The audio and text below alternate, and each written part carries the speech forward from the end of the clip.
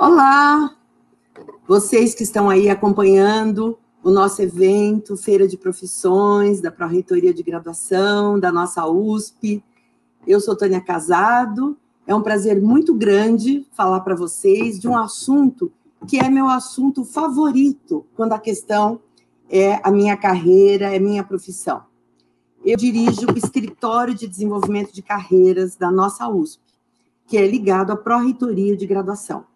E a nossa conversa aqui vai ser sobre uh, as novidades em carreira. A gente vai começar falando o que é carreira e nós vamos conversar um pouquinho sobre é, que áreas a gente tem que pensar quando a gente pensa na nossa trajetória profissional, tá bom?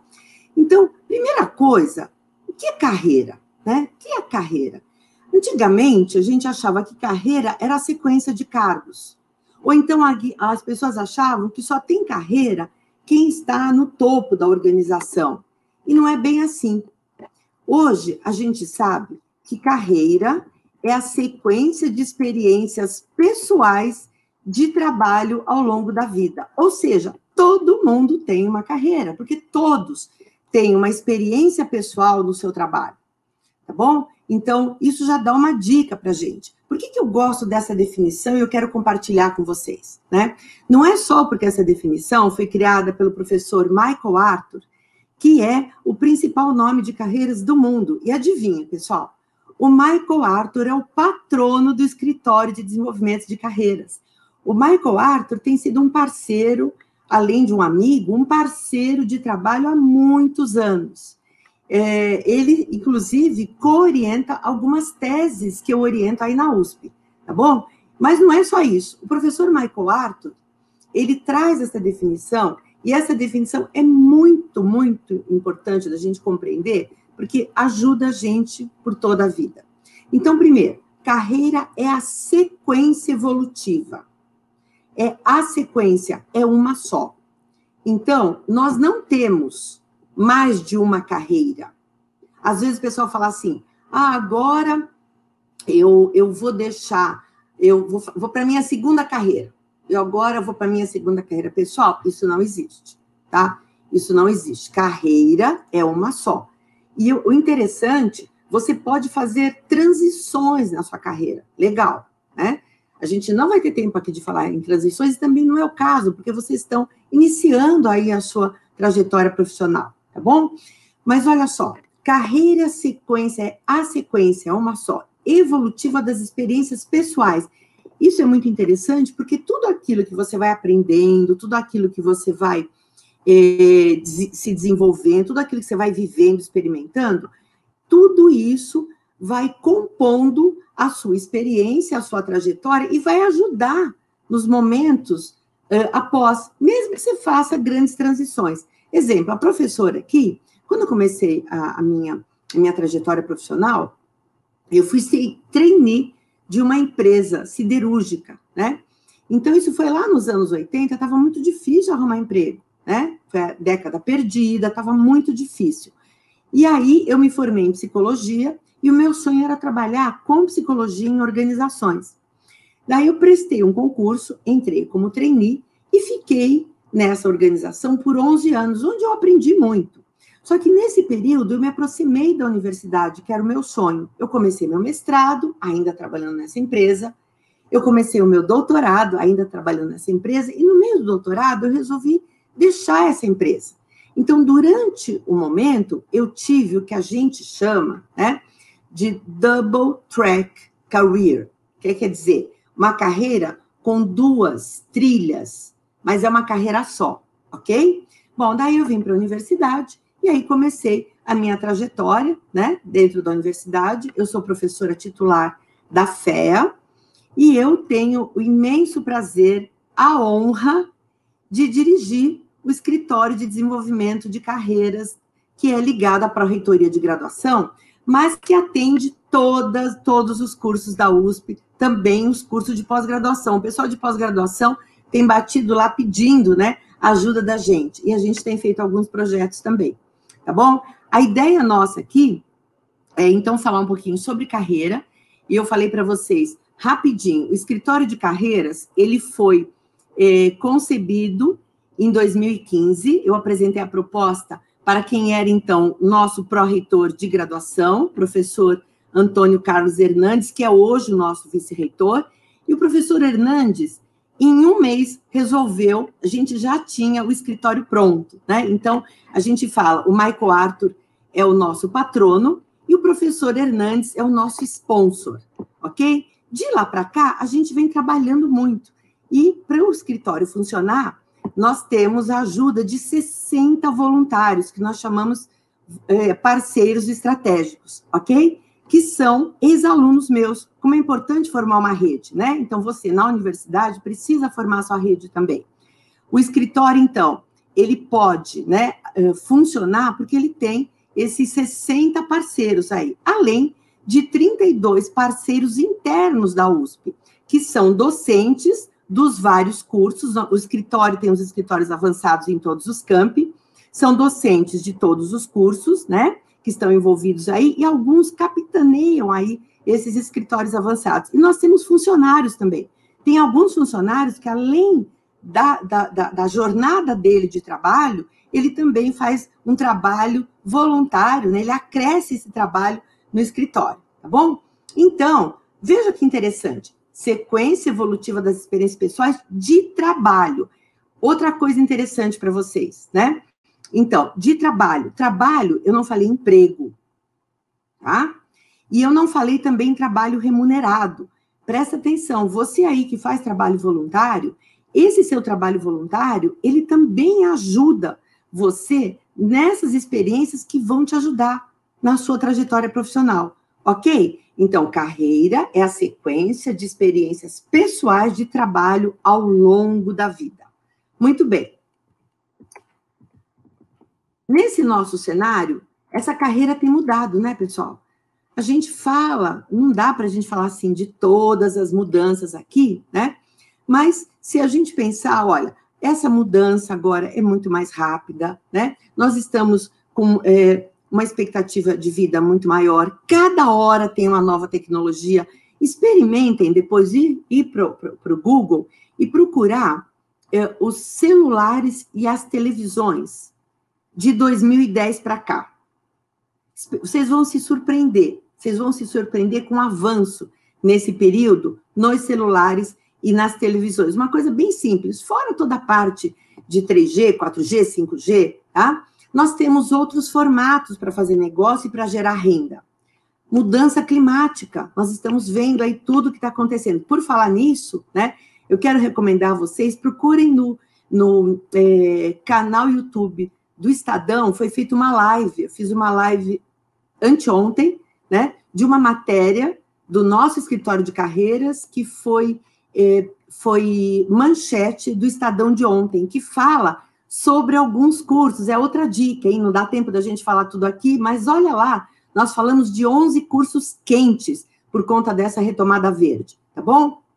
É, toda essa questão de gênero, não só o gênero, mas é, as outras diversidades, LGBTQI+, né? O pessoal idoso também, que agora estão estudando diversidade, trazer os idosos para trabalhar, porque esses idosos precisam continuar produzindo para a saúde física e mental deles, né? E o mercado de trabalho vai ter que incorporar isso, só que em outros modelos, né? A inovação, nós estamos na era do conhecimento, muito bem, vocês já devem ter ouvido falar, né? Que esse é o que o pessoal chamou de ambiente VUCA. Só uma coisinha, pessoal. Essa sigla VUCA é do final da década de 80. Tá?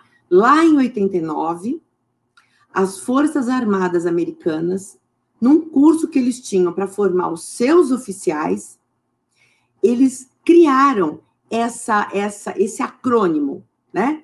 O V de volatility, volatilidade. As mudanças são paradigmáticas, são constantes, são rápidas, é outro padrão. O U de uncertainty, que nós aqui de, de, traduzimos como incerteza, né? Difícil fazer previsão. A compreensão dos eventos é muito complicada. Gente, olha o que a gente está vendo aí, né? De pandemia, a gente não sabe, tá certo? O C de complexity, complexidade. Nas, nos eventos são tantos aspectos envolvidos, são tantas variáveis, né? Como a gente diz em pesquisa, que fica muito difícil entender o que está relacionado com o quê. E, finalmente, o A de ambiguity, ou ambiguidade, quando você pensa que achou, pode ser e pode não ser. Então, já em 89, as Forças Armadas Americanas criaram esse acrônimo, ok? E esse VUCA chegou para ficar. E é nesse VUCA que vocês vão atuar como profissionais. Ok, turma? Vamos lá. É, vamos. Então, a nossa carreira tradicional era assim, né? Escadinha. Agora, ela ocorre de outras formas, tá bom, pessoal? Então, é muito mais. Olha, a gente colocou aí, né, a figura do DNA, tá? Mas para entender, para a gente entender que é outra complexidade, tá bom? A gente, então, é desafiado a assumir posição de protagonista. Vocês já devem ter ouvido falar, tem que ser protagonista da sua carreira, não sei o quê, tá aí, tá? Muito bem. Deixa eu falar para vocês, né, que eu acho que é, é importante para a gente é, conversar aqui, pelo menos o início, a gente tem aqui, então, as não, deixa eu só centralizar um pouquinho melhor. Pronto. Olha só. Então, o escritório de carreiras fez um projeto chamado Está Fazendo Carreiras do Futuro. Esse projeto de pesquisa tem quatro etapas, ele vai durar mais um ano e meio, tá bom? É, mas eu quero falar para vocês da primeira etapa, que já foi finalizada e a gente já tem aqui algumas coisas, né?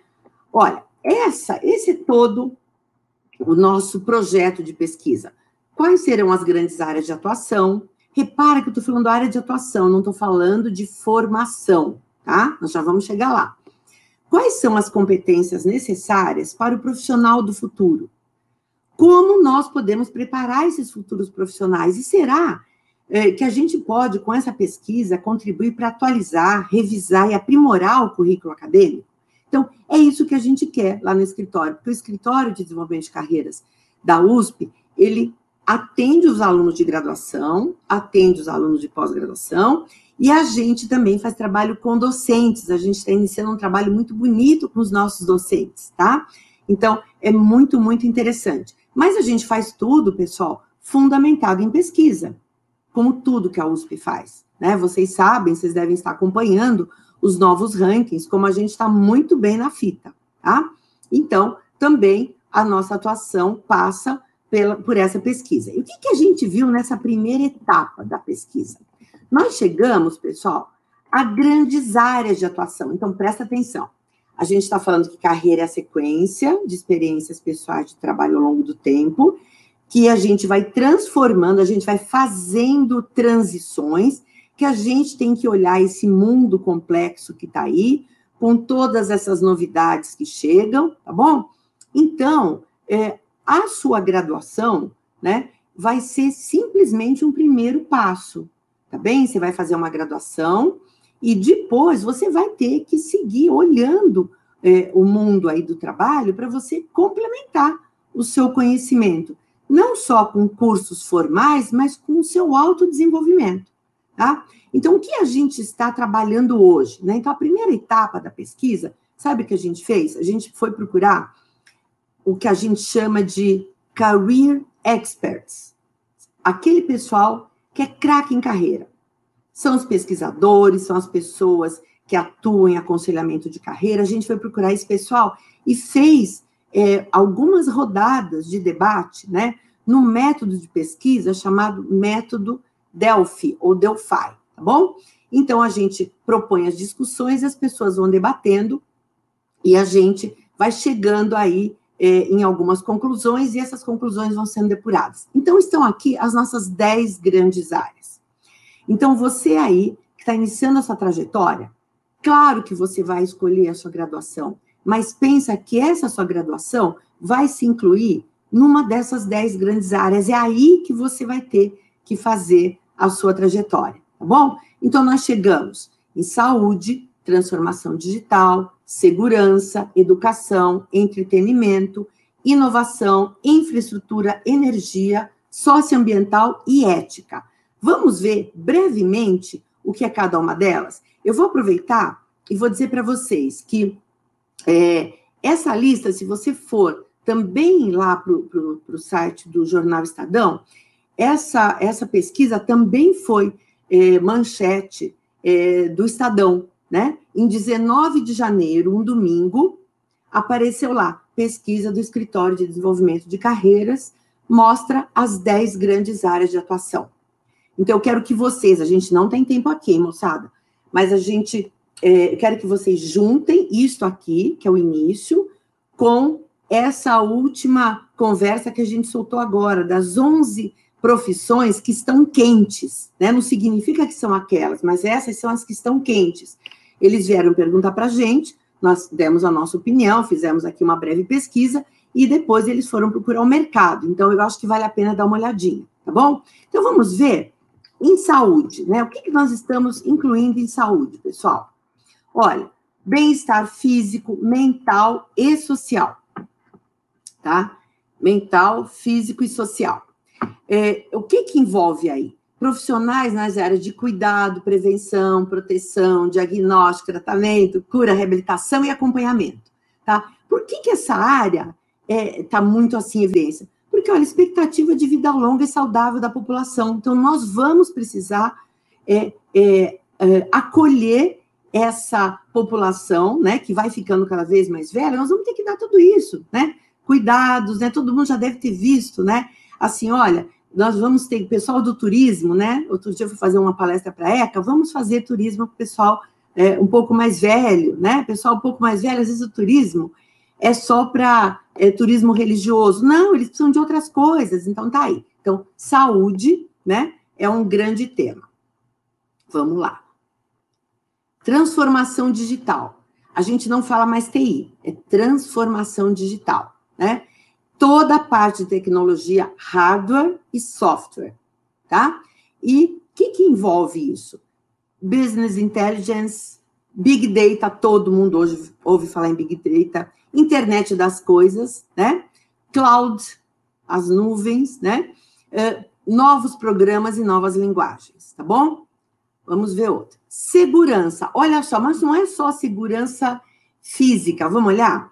Olha, com essa exposição exacerbada, né? Todo mundo está na rede, todo mundo está no LinkedIn, a gente sabe é, de tudo de todo mundo, né? Uh, as organizações hoje estão muito abertas às suas, uh, os seus dados, enfim. Então, segurança vai ser uma coisa importante, né? Então, tem serviço de proteção e segurança público, privado, cibernético, segurança da informação e segurança física e também até o risco das empresas está aqui, ok?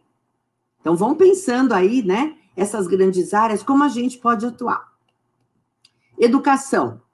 Olha, eu falei que a gente vai ter que continuar a estudar, a aprender. Então, toda a área de treinamento, educação digital, é, elaboração de materiais didáticos. Hoje tem, às vezes a gente recebe assim, olha, Uh, professora, você tem alguém para indicar para produzir conteúdo para um curso, né? Que a gente está fazendo aí, um curso virtual, tá bom? Então, olha aí, né? Dicas.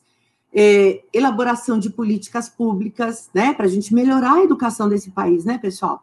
Eu acho que todo mundo sabe do Vem para a USP, né? A USP está fazendo um esforço gigantesco para trazer para dentro da universidade os alunos que vêm da escola pública. Sabe por quê? Porque a escola pública, o primeiro, né, o, o, ensino fundamental, o ensino médio na escola pública, ele deu uma decaída, todo mundo sabe. Eu estudei em escola pública. Se você perguntar para a maioria, um dia eu fiz essa pergunta, nós estávamos numa reunião com uns 40 professores. Eu falei, quem é estudou em escola pública? Tinha três que não tinham estudado. Todos nós estudamos em escola pública, tá bom? E aí, Agora, né, a gente está querendo trazer esse aluno de escola pública. Então, educação, pensar no futuro da, da educação é importante, tá? Entretenimento, olha só. A gente vai trabalhar mais em casa, nós estamos vendo agora, com a pandemia, não tem jeito, né? Então, aquele tempo do trânsito, tempo de deslocamento, vai sobrar mais tempo. A hora que a gente começar a entender essa divisão, né, do trabalho, não ficar assim, é, tendo ficar muito assoberbado com o trabalho, a gente vai começar a dividir um pouco mais o tempo, vai aprender a lidar mais com o tempo, e a gente vai ter mais tempo para entretenimento. Então, teatro, concerto, cinema, jogos eletrônicos, música, dança, turismo, olha quanta coisa boa, celebrações, festividades religiosas, artes em geral, games, tá? Turismo são exemplos de campo de atuação. Repara que eu não estou dizendo que é só a ECA, hein, pessoal? Pensa que se você é, vai fazer engenharia, tem que ter alguma coisa aí para você fazer. Se você fazer psicologia, com certeza. Ontem eu estava falando com um professor da psicologia e a gente estava conversando. Eu falei: escuta, jogos eletrônicos, tem um campo para psicologia aí, né? Criar, a caracterizar bem o personagem e tal. Tá bom? A gente tem que ser criativo. Inovação, claro, né, pessoal? Todo esse movimento de mudança vai requerer novos produtos, serviços, né? Mudança no modelo mental que orienta os mercados. E gestão da inovação é uma coisa também importante, né? É um bom, uma boa área de atuação, tá? Infraestrutura. Olha, pessoal, todo mundo fala das megacidades, né? Todo mundo eh, deve estar lembrando, né, dos problemas de abastecimento de água, os nossos problemas de mobilidade, né, que são bem grandes, né, que são bem preocupantes, tá certo? Coleta e tratamento de esgoto e de lixo, lixo reciclável, tá? Fornecimento de energia. Olha aí, infraestrutura é uma boa área de atuação também, né? Que vai demandar muita gente. Socioambiental. Gente, não tem jeito. Não tem jeito. Parece que agora as pessoas começaram a compreender de que esse problema é sério. Isso já vem desde a década de 90, que a gente fica falando para as pessoas falando, mas parece que agora o pessoal acredita, né? Então, de novo, reparem essa retomada verde. Por que, que o estado de São Paulo, de repente, falou em retomada verde? Porque a população está falando sobre isso, eles querem vender jornal, claro, né? Então, eles vão pegar alguma coisa que fala do que a população está precisando, tá bom? Então, dá uma checadinha lá na live e no, na pesquisa que o ECAR publicou lá, tá bom? Energia, né? Todo mundo sabe, né? Dos problemas de energia, todo mundo sabe, né? Que assim, a gente tem não só dificuldade de obter, ela está cada vez mais cara e vai acabar. A energia que a gente conhece, né? Então, é o petróleo, todo mundo sabe disso, né? Então, assim, novas fontes de energia. Uh, lá, a, a, o Instituto de Física de São Carlos está com uma mini usina é, fotovoltaica, né? Que é super legal. O que eles estão pesquisando lá? Exatamente produção de energia, tá bom? Então, nós vamos ter que procurar energia eólica, né, dos ventos, solar, geotérmica, tá bom? Então, tá aí uma grande área. Ética, tá? Pessoal, só se fala nisso hoje também, né? Você tem que ter um comportamento ético. A gente se preocupar com as normas, com os valores, com tudo aquilo que acontece como uh, demanda da sociedade pelo bem comum está aí outra boa área. E tem um monte de formação, várias formações que contribuem aí para a ética, tá? Então, pessoal, nós temos aqui as 10 grandes áreas, tá? Então, o que, que eu queria? Que vocês pensassem, então, sobre as suas trajetórias profissionais, que vocês pensassem, né, na sua formação, que vocês pensassem aí é, de que a graduação é só um início e que você, dentro da USP, tem chance de ter várias possibilidades de entrar nessas 10 grandes áreas, tá bom? E dá uma olhadinha nas 11 profissões quentes que vão nos ajudar nessas 10 grandes áreas. Tá bom, pessoal? Então, foi um prazer muito grande, é muito corrido, porque esse assunto de carreiras é um assunto muito palpitante, com muita coisa, e eu vou aproveitar e vou fazer o comercial do escritório de carreiras. Vai para o canal YouTube e procura o escritório de carreiras. A gente tem umas coisas legais lá, tá bom? Então, um prazer. Eu não sei se a gente tem um tempinho ainda para fazer alguma pergunta, né? Olha, então eu vou responder. Apareceu uma aqui, né? Qual a importância da atuação do ECAR na trajetória da graduação e na trajetória profissional do aluno USP. Olha, pessoal, vocês perguntaram para. Né? Eu é, dei a ideia do, do, escritório lá em 2015, né? E, e, aí o professor Hernandes me ajudou, né? Foi o sponsor, a gente é, criou o escritório. O escritório só cresce, pessoal. Eu acho que é super importante, né? Se você conhece, a gente tem alguns depoimentos, né? e a gente vai começar a postar esses depoimentos com, uh, uh, com, com autorização né, das pessoas que deram os depoimentos, e a gente sabe né, uh, o quanto o escritório de carreiras tem ajudado os alunos. Nós temos TCCs, trabalho de conclusão de curso, onde o aluno escreve lá um agradecimento para a pessoa que orientou a carreira dele. Nós temos atendimento individual. Sabe isso que o mercado chama de coaching? A gente faz isso de graça para os nossos alunos de graduação. Tá? Então, você imagina que um aluno vai ter um atendimento de 8, 9, 10 sessões para ele pensar, na, na, fazer o seu autoconhecimento, para ele entender um pouco mais o mercado e fazer seu planejamento. E aí, o aluno termina o curso, faz o seu TCC e ele agradece para o consultor que atendeu, o consultor que fez isso de graça para a gente na USP, tá bom? Então, eu não tenho a menor dúvida de que o escritório está prestando um grande serviço para os alunos de graduação, para os alunos de pós, porque o escritório foi criado inicialmente para o, o, o graduação, mas nós começamos a ter demanda dos alunos de pós. Né? Olha que interessante, uma demanda espontânea, né? E a gente, claro, tudo é USP, a gente vai atender, tá certo?